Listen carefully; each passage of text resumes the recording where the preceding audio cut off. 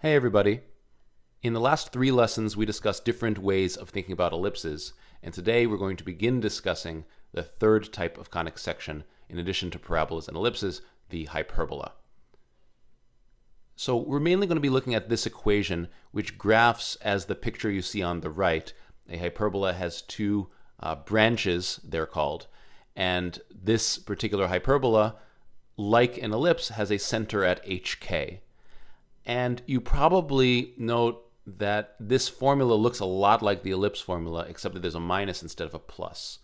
And we're going to get our first bit of information about how this thing behaves by the fact that on this line, this green line, I'm going to make an argument for those two points are also on the ellipse uh, with the same formula, except that there's a plus instead of a minus. So imagine uh, that so this line is the line y is equal to k. And imagine that you plugged in k uh, for the y value. In other words, you're trying to find the x values on this line. And then these simplify to 0. And now it's the same equation. And if you were to solve for x, you'd get the same point. And so what this means is that these points will be on the ellipse as well. Uh, and so on an ellipse, the distance from the center uh, to the end of the horizontal axis is going to be a, and in this horizontal hyperbola, that distance is also going to be a, and those points are shared, as you see in the video, by both the ellipse and the hyperbola.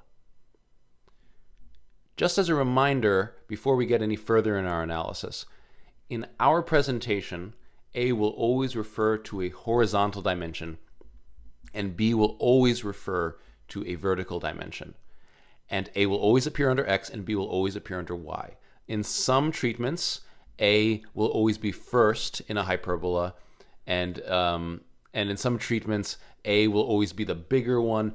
And what I'm saying is that for my treatment, A is always going to be under X and B is always going to be under Y. So in the previous slide, we saw that A is the distance from the center to what's called the vertex of a hyperbola because it's the same thing as it would be for an ellipse, the endpoint of the horizontal axis. That distance is a for the ellipse, so it also must be a for this horizontal hyperbola. But we don't know what b does yet.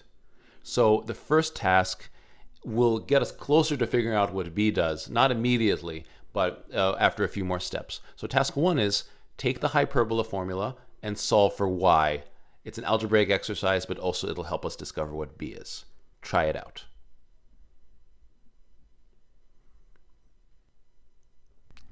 In order to solve for y in this equation, we need to first get y, the y term by itself. So one thing we can do is add the, the y term, this green term to both sides, and subtract the 1 from both sides to um, get the y squared by itself, and then just reverse the order to have it on the left-hand side, just to make it nice and, and simple. And then we multiply both sides by b squared in order uh, to further get the y term alone. And now we can take the square root of both sides. Remember when we take the square root of both sides, we always have a plus or minus because there are two answers uh, to, to when you have a, take a square root of some number. And then you add k to both sides, and then we get the answer. So y is equal to a large square root expression plus k. And we're going to analyze this expression, particularly the square root part. And this will be our key to unlocking the behavior of a hyperbola. So what we're going to argue is that when x is extreme, meaning very large or very negative, a hyperbola is going to approach two lines. So take a look at that square root expression in the middle of this equation. And I'm going to highlight two parts of it, the two terms within it. Now if x were really large, the green part would also become very, very large because you're multiplying by x minus h squared, and when x is large, that thing is large. But the gray part, the negative b squared, wouldn't change and would become increasingly insignificant.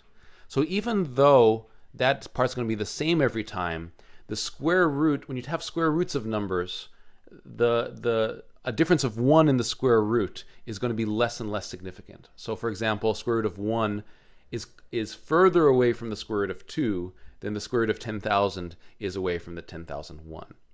And what that means is that when x is large, we can basically ignore the b squared, basically ignore the gray term. Now, this is a little bit not rigorous, what we're saying now, and in calculus, you'll learn techniques for thinking about this more carefully. But basically, when x is large, the b squared isn't there. So I'm going to highlight it even more. Let's just pretend it's not there. And it's going to be more not there the bigger and bigger x gets. And this goes also when x is a very large negative number in, in a sense, like negative a billion or something like that, or even you know closer to zero than that. Now, now this square root expression can be simplified because it's just the square root of a bunch of squares. And so the hyperbola is going to be close to the square root of that expression, which is plus or minus b over a times x minus h plus k. So in other words, we got the equation of a line. These are the lines that the hyperbola approaches as x gets extreme, and these lines are called asymptotes. So this is the main way in which a hyperbola is not the same as a parabola and vice versa. A hyperbola gets closer and closer to certain lines called asymptotes as the curve gets further and further away from the center. But a parabola's steepness keeps on increasing and does not approach an asymptote. You might want to think about how we can argue this more rigorously um, but one way to show this intuitively is that if you zoom out on a hyperbola, then you really see that it becomes two pairs of lines dictated by the formula that we suggested. And if we zoom out on a parabola, it seems to get uh, steeper and steeper until it looks like a vertical line, but we know it can't be a vertical line because in the middle, there isn't a vertical line. And the domain of the parabola is all real numbers. So even though it looks like it, it's a line, it's not a line at any point. It doesn't approach that line. In fact, it, continually gets further and further away from the center. So basically, we have an asymptote formula. Y equals that formula we derived in the previous uh, spot. And if A is the distance from the center to the vertex, then B is the thing that when you hold a constant determines the slope of the asymptote. So here's a visual demonstration. If we change B but leave A constant, you see that A is always going to be the distance from the center to the vertex of the hyperbola, but that the slopes of the lines change. So what B is all about is the slope of the asymptotes and that allows us to figure out how to graph these things. So how do we sketch certain facets of a horizontal hyperbola?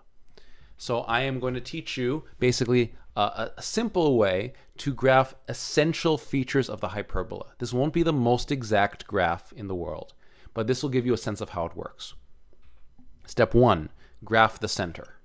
So the center is given by h and k, in this case 2 and negative 4. Step two, a in a horizontal hyperbola is the distance to the left and the right of the center in order to get to the vertices. So to the right and to the left. And A is 3 in this case. And from each of the vertices, now we're going to go up by B and down by B.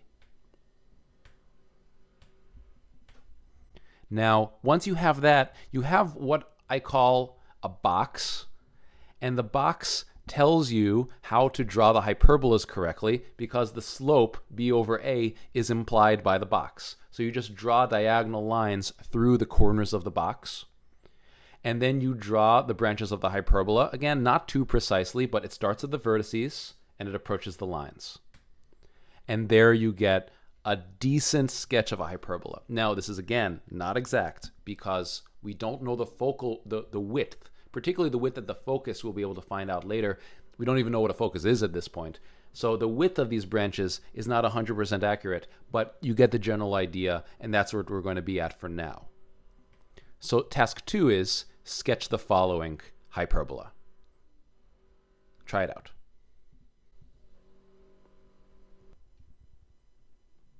The results of this hyperbola are shown on the slide. A is 2, B is 1, the center is negative 2, 0. Recall that if there's just a y there, you can think of it as y minus 0, and so that's why the y value of the center is 0. And you draw 2 to the right and left of the center, 1 up and down from the vertices to draw the box that has the slopes of b over a, or 1 over 2, or negative 1 over 2 in this case. And then once you have the asymptotes drawn, you can draw the branches. And once again, this is not very precise because of the width. We don't know how wide the branch is, but this certainly gives us the basic idea of what the hyperbola looks like. So today we learned about the formula of a horizontal hyperbola and how it shares two points with the corresponding ellipse with a plus sign instead of a minus sign there, and those two shared points are the vertices of the hyperbola. We learned that the hyperbola branches approach asymptotes far from the center, while parabolas do not. So there, uh, hyperbola is not just two parabolas, they behave very differently because of those asymptotes. And using the concept of asymptotes, we learned how to, how to sketch graphs of hyperbolas that capture the ideas we've learned so far, but are not very precise. So, like with ellipse, we need to learn more perspectives to deepen our understanding of hyperbolas, and we'll do so in the following lessons. And we're also going to learn about vertical hyperbolas.